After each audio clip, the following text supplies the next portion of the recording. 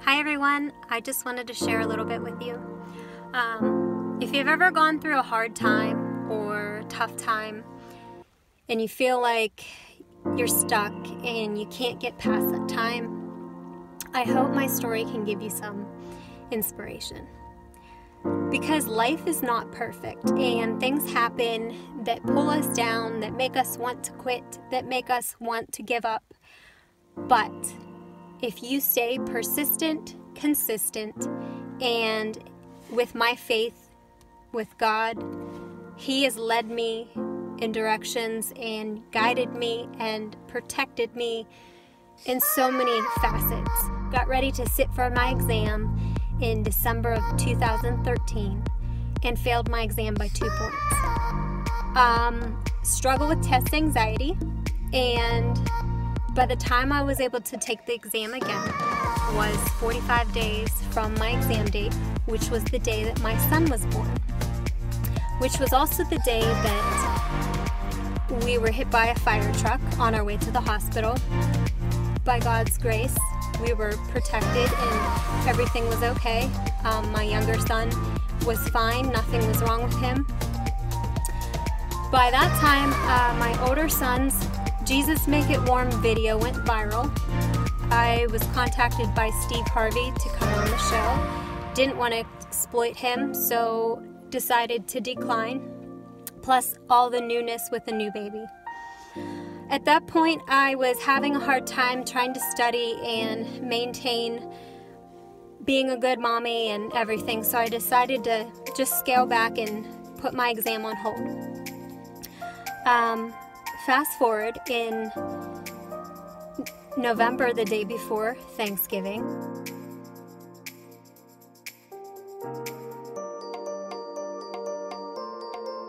Frantically looked for a job. Um, tried to look for something that would accommodate a 10 month old who had feeding issues. With Matters Orient.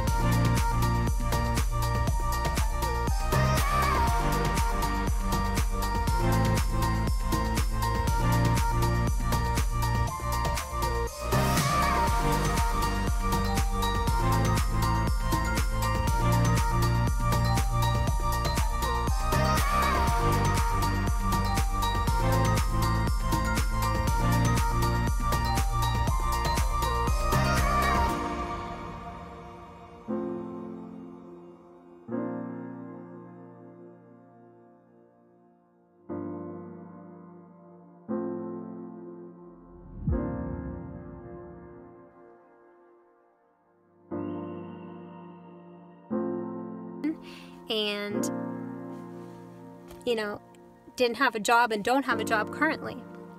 But why am i telling you all this stuff? Because god can meet you at your lowest. He can meet you at your breaking point.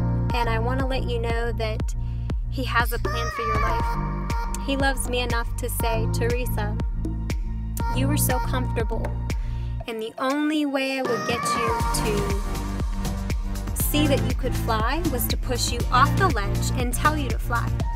And um, throughout all that time, you know, I put off my exam, taking my exam. I rescheduled it probably, not exaggerating, like 15 different times, if not more, um, between 2013 and 2018. But I felt like this was my opportunity that God was giving me to finally sit down and take focus. And the good news I have to share with you today is I just passed my exam. I am now a registered dietitian and I give it all up to God because He's provided me with financial resources, with emotional support, with all the needs that you could possibly need.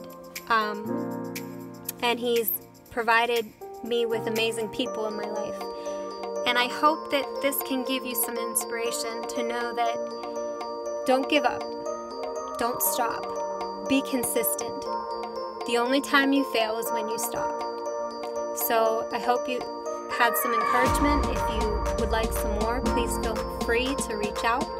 Um, thank you for watching.